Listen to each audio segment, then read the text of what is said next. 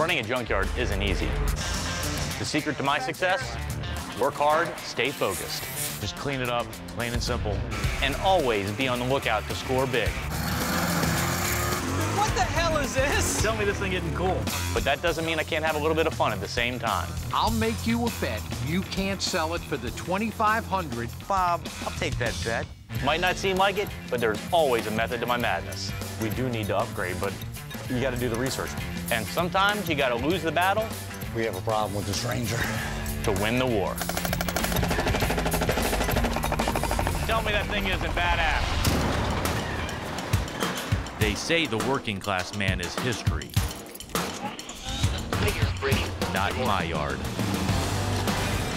Give me something busted or wrecked.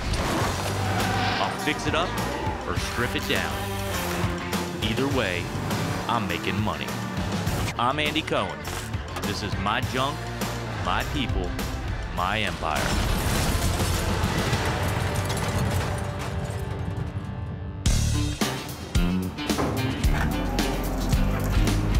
Every week, we see all kinds of stuff come into the junkyard.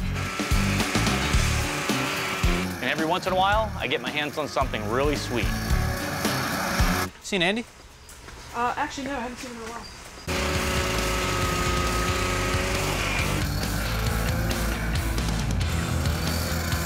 Seen Andy? Hold on, Tommy.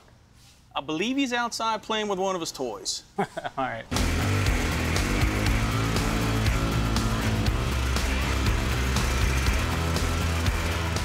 What the hell is this? Tell me this thing isn't cool. This is awesome. Somebody dude. brought it in this weekend. It's got a snowmobile engine in it. This guy came in and sold it to me for 2,500 bucks. I'm almost tempted to keep it myself. And it, but it actually runs pretty good, man. I think the belt was slipping right there. But I mean, it's pretty cool.